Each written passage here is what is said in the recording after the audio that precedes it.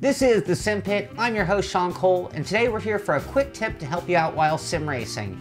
Now, this tip is actually a way to remember some of those forgotten keyboard commands that we need some of the time, not all the time. I mean, I've got a wheel, I've got plenty of buttons and things mapped to them that I use on a daily or every race basis. But what about those other commands, the ones that we need periodically, but we often forget? Now, I came up with an idea on putting a little label on my bezel. So here I have one for P for speed gear, one for F for FPS, that's turning on the two little boxes for your frames per second or your speed and gear indicator.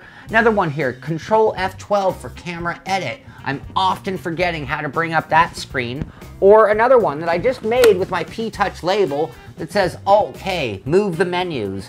And all I'm gonna do is I'm just gonna trim this off and I'm gonna stick it on my bezel so that next time I'm racing and I need to move those menus and I remember this is the keyboard command. I don't have this mapped to any of my buttons or any button box or anywhere, but now I'll remember that is the keyboard command and I'll never forget it next time I need it. And you can do that for any sim that you play often that has commands beyond the ones you're gonna map on your control. I hope this helps you with that little quick tip. If you have any suggestions for other quick tips, please email me at sean at thesimpit.com and I'll be sure to add that to the list and get them on the show right away.